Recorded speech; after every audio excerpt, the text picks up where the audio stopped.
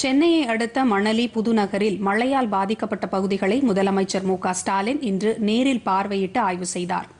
மக்களின் வாழ்க்கை கூடிய விரைவில் இயல்பு நிலைக்கு திரும்ப மேற்கொள்ள வேண்டிய அனைத்து நடவடிக்கைகளையும் துரிதமாக மேற்கொள்ளுமாறு அதிகாரிகளுக்கு அப்போது அறிவுறுத்தினார்.